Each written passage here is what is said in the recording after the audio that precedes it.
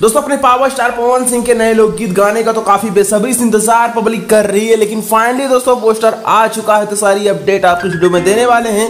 बने रहे वीडियो में लास्ट तक, आप लोग पहले पोस्टर देख लीजिए।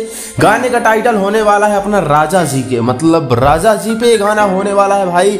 और इसके पहले भी इस टाइटल पे बहुत सारे गाने वायरल हो चुके हैं हिट हो चुके हैं तो ये गाना उसी टाइप का होने वाला है। टीम काम करेगा टीम की बात करें तो दोस्तों, पवन सिंह के साथ में शिल्पी राज की आवाज़ सुनने को मिलने वाली है। आशुतोष तिवारी ने गाने को लिखा है और म्यूज़िक जो है प्रियांशु सिंह का होने वाला है। गाने में काम कर रही एक्ट्रेस का नाम होने वाला ईशानी घोष। और इसी के साथ पवन सिंह का इसमें बेहतरीन एक लुक देखने को मिलने वाला है। क्या गजब के लुक में पवन सिंह नज़र आ रहे हैं इस नए वीडियो सॉन्ग के पोस्टर में। इसी के साथ इस गाने की शूटिंग आज से दो महीना पहले कंप्लीट की गई थी और काफ़ी दिनों से इंतज़ार चल रहा था पवन सिंह के नए लोकगीत गाने का। बट यार, बॉलीवुड गाने आने की वजह से लोकगीत पे थोड़ा सा ध्यान कम दिया जा रहा है। लेकिन फाइनली नए लोकगीत गाने का पोस्टर आप लोगों के सामने आ चुका है और ये गाना आप लोगों के बीच में लाभ फ़िल्म यूट्यूब चैनल पे रिलीज़ किया जाएगा। इसी के साथ आज एक गाना रिलीज़ किया गया है पवन सिंह का जो कि होने वाला सूर्यवंशम फ़िल्म का गा, गाने का नाम है रसगुल्ला नियन गाल राजा।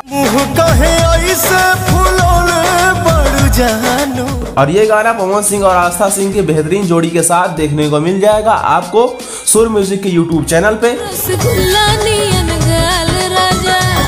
और इसके पहले सूर्यवंशम फ़िल्म के बहुत सारे गाने आए और हिट रहे हैं तो ये गाना भी आप लोग जाके ज़रूर सुनिएगा।